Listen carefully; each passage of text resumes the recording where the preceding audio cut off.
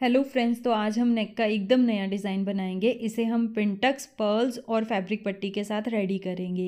ये डिज़ाइन बिल्कुल नया है और आपने अभी तक यूट्यूब पे नहीं देखा होगा और आपको भी बहुत ही पसंद आएगा। तो चलिए डिज़ाइन बनाना शुरू करते हैं। तो सबसे पहले मैंने सेम कुर्ती वाले फैब्रिक से ये एक पट्टी कट की है। ये पट्टी मैंने साढ़े चार इंच चौड़ी रखी है। ये देखिए। और लंबाई में ना मैंने ये पंद्रह सोलह इंच ली है और इसकी उल्टी साइड पे ना मैंने पेपर पेस्टिंग भी लगा ली है। ये देखिए, अब हमने ना इसमें पिंटक्स डालनी है तो उसके लिए ना हमने इसे ऐसे उल्टा करके ही रखना है और एक तरफ़ से ना इसे डायगनल शेप में ऐसे फोल्ड कर लेना है। ऐसे फोल्ड करते हुए यहाँ पे बिल्कुल किनारी की पिंटक्स लगानी है। एक पिंटक्स हमने ऐसे लगा ली है, अब हमने आधे इंच का गैप लेना है इस तरीके से। आधे इंच का गैप लेंगे और फिर से फैब्रिक को फोल्ड करते हुए यहाँ पे भी किनारी की पिंटक्स लगा लेंगे। ऐसे ही ना हमने आधे आधे इंच के गैप पे पूरे पैटर्न के ऊपर पिंटक्स लगा लेनी है। अगर आप इस तरीके से पेपर पेस्टिंग लगा के पिंटक्स डालेंगे ना तो पिंटक्स में बहुत ही अच्छी फिनिशिंग आएगी।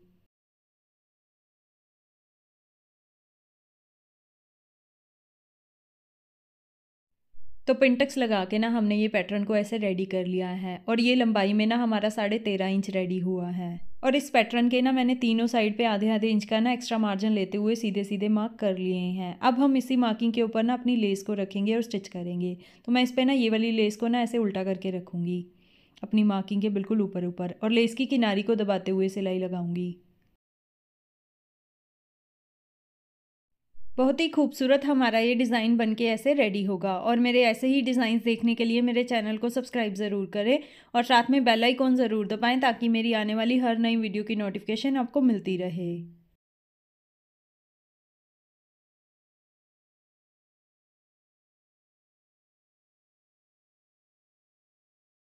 पैटर्न के तीनों साइड पे ना हमने ये वाली लेस को ऐसे स्टिच कर लिया है। अब हमने ना लेस को ऐसे सीधा करते हुए, ऐसे। पैटर्न को पलट लेना है और लेस को सीधा कर लेना है। और यहाँ पे ना हमने इसे प्रेस कर लेना है, कोई भी सिलाई नहीं लगानी है। तो ऐसे इस पैटर्न को ना मैंने प्रेस करके रेडी कर लिया है। अब हमने ना इसके साथ की एक और पट्टी कट करनी है। ये पट्टी ना हमने दो इंच चौड़ी लेनी है, ये देखिए। और लंबाई में भी ना इससे एक इंच कम लेनी है। और इसकी उल्टी साइड पे भी ना ऐसे मैंने पेपर पेस्टिंग लगा ली है, ये देखिए। तो ये छोटी वाली पट्टी के ऊपर ना हमें समोसा ट्रायंगल स्टिच करने हैं। तो उसके लिए ना मैंने ये ट्रायंगल्स पहले से रेडी कर लिए हैं तो मैं आपको बता दूँ ये आपने कैसे रेडी करने हैं। ये ट्रायंगल्स बनाने के लिए ना अपने स्क्वायर में पीसीस कट करने हैं छोटे छोटे तो ऐसे मैंने ये पीस ढाई इंच चौड़ा और ढाई इंच ही लंबा कट किया है, ये देखिए। अब हमने ना इसे ऐसे फोल्ड करना है और फिर ऐसे। और फिर इसे एक बार ऐसे फोल्ड करते हुए यहाँ से ना हमने इसे प्रेस कर लेना है ऐसे ही। ऐसे ही मैंने सारे ट्रेंगल्स रेडी कर लिए हैं प्रेस करके, फिर ये खुलते नहीं हैं, ऐसे ही रहते हैं प्रेस करने के साथ। अब हम इस ट्रेंगल को ना अपनी पट्टी के ऊपर ऐसे रखेंगे। ऐसे करके रखेंगे और यहाँ पे ना सिलाई लगाएँगे आधे इंच का मार्जिन लेते हुए। मैंने यहाँ पे ना आधे आधे इंच का मार्जिन लेते हुए हल्का हल्का मार्क कर लिया है। अगर आप बिगनर्स हो तो आप भी कर लो। ट्रायंगल्स के बीच में ना हमने कोई भी गैप नहीं लेना, बिल्कुल साथ साथ करके ऐसे ट्रायंगल्स को रखते जाना और सिलाई लगाते जाना है।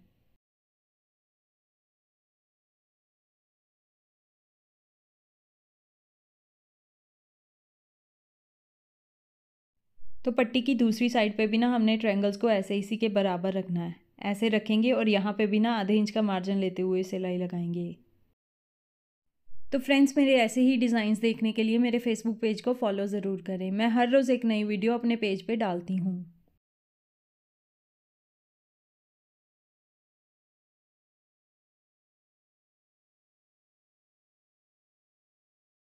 तो गाइस दोनों तरफ़ हमने ये वाले ट्रायंगल ऐसे स्टिच कर लिए हैं। अब हमने ना इन ट्रायंगल्स को ऐसे बाहर की तरफ़ निकाल देना है, ऐसे। और इस पट्टी को भी ना यहाँ से प्रेस कर लेना है, अच्छे से कोई भी सिलाई नहीं लगानी है। दोनों तरफ़ से हमने ये ट्रायंगल्स ऐसे बाहर की तरफ़ निकाल लेने हैं। तो ऐसे हमने ट्रायंगल्स वाली पट्टी को भी प्रेस कर लिया है। अब हम ये वाली पट्टी को ना ये वाले पैटर्न के ऊपर बिल्कुल सेंटर में रखेंगे, ऐसे। अगर आप बिगनर्स हो ना तो इसके पहले सेंटर में एक रफ स्टिच कर लीजिए और उसके बाद ना दोनों तरफ़ किनारी की सिलाइयाँ लगा के इसे स्टिच कर लीजिए इसके ऊपर। मैं इसके सेंटर में रफ स्टिच नहीं कर रही हूँ, इसकी दोनों किनारी की सिलाइयाँ ऐसे ही लगा रही हूँ, बिल्कुल सेंटर में रखते हुए इसे। नीचे से सिलाई को ऐसे ही हमने घुमा के ना दूसरी तरफ़ ले जाना है।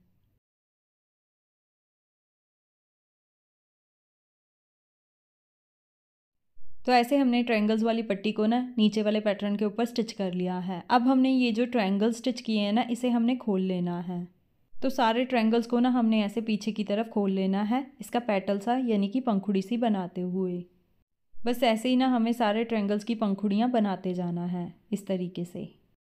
तो जब हमने ये ट्रायंगल्स को ऐसे खोल लेना है ना तो अभी मैं आपको बताती हूँ कि आपने इसे स्टिच कैसे करना है। इसे ना बिल्कुल सेंटर में ऐसे लाते हुए ना, सुई धागे के साथ यहाँ पे ना इसे स्टिच कर लेना है। बिल्कुल सेंटर में ऐसे और इनके बीच में ना एक एक छोटा छोटा पर्ल भी स्टिच कर देना है। पहले ना हमने दोनों पंखड़ियों को ऐसे आपस में स्टिच कर लेना है और उसके बाद ना इसके बिल्कुल सेंटर में ना ऐसे एक छोटा सा पर्ल यहाँ पे ऐसे स्टिच कर लेना है। ये देखिए, ऐसे अब हम इस पर्ल को ना ऐसे पक्का कर लेंगे डबल टांका करके। पंखुड़ी और पर्ल के साथ ना हमारा ये एकदम नया और यूनिक डिज़ाइन बन के तैयार होगा। तो अभी मैं आपको अपने सारे पर्ल ना यहाँ पे स्टिच करके दिखाती हूँ। तो फ्रेंड्स सारे पल ना हमने यहाँ पे ऐसे स्टिच कर लिए हैं और देखिए कितना खूबसूरत और एकदम नया हमारा ये पैटर्न बन के तैयार हुआ है। अब हम इस पैटर्न को अपनी कुर्ती के ऊपर रख के स्टिच करेंगे। तो कुर्ती को खोल के सीधा करके रखेंगे और पैटर्न को ना ऊपर से दो ढाई इंच छोड़ के रखेंगे ऐसे, क्योंकि ऊपर की तरफ़ ना हमारा नेक आ जाएगा। ऐसे रखेंगे और यहाँ पर ना बिल्कुल किनारी की सिलाई के साथ इस पैटर्न को कुर्ती पर स्टिच कर लेंगे।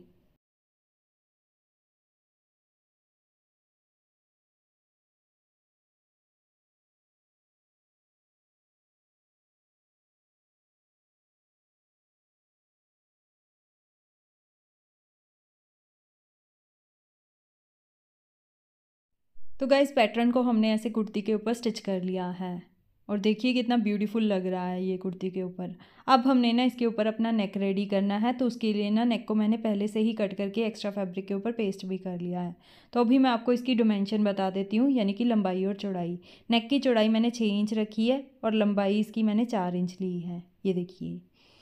अब हमने ना इस नेक को ना अपनी कुर्ती के ऊपर ऐसे रखना है, उल्टा करके। और बिल्कुल सेंटर में एक रफ स्टिच लगाते हुए ना, फिर हमने बुकरम के किनारे किनारे पे सिलाई लगानी है।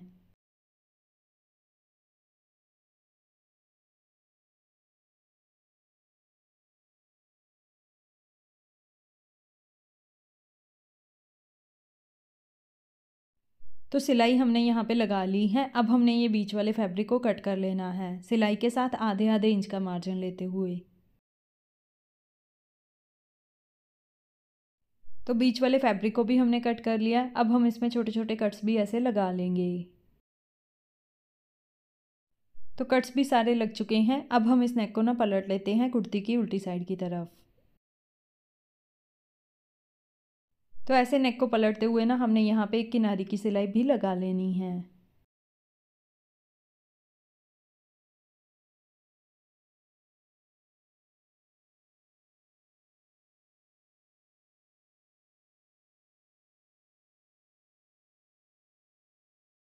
तो नेक भी हमने ऊपर की तरफ़ ऐसे रेडी कर लिया है और देखिए कितना खूबसूरत कुर्ती का डिज़ाइन हमारा ये बनके तैयार हुआ है। तो अभी मैं आपको अपनी पूरी कुर्ती रेडी करके दिखाती हूँ।